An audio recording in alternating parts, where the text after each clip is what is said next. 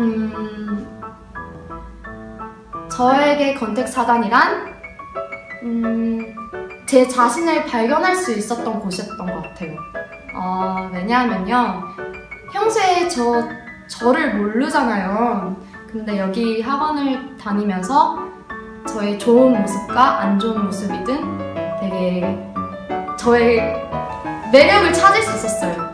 그래서 더 대학 시험 보러 다니면서 항상 자신감이 있었고 어, 최대한 이제 시험 볼 때 즐기려고 했었던 것 같아요. 건택사단